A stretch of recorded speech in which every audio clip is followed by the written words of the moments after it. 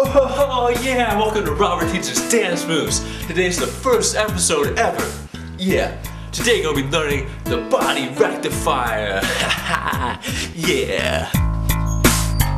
Oh, you probably ask yourself, hey Robert, how do you do the body rectifier? Well, I'll show you. It goes something like this.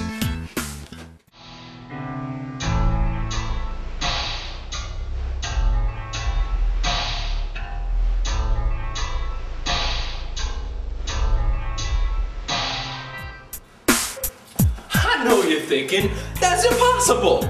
But really, it's not. It's really easy. All you gotta do is this. Stand straight up, say, oh, well, what are these invisible bicycle handles doing here? You grab them, and you rectify yourself.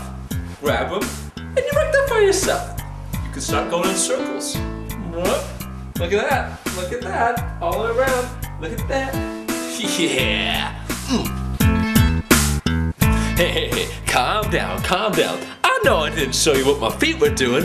I'm doing that right now. Here you go. Here's an instant replay of what my feet were doing right then.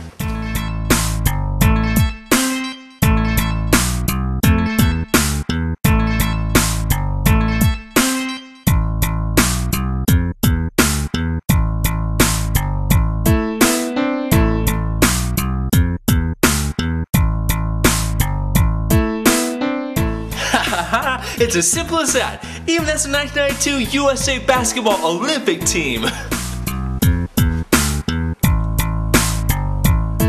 I, John Stockton, will speak for the whole team and say, yes, I do agree. It is as simple as that.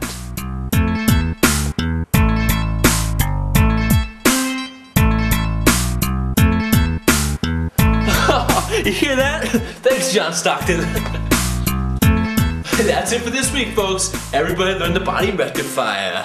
yeah, see you next time.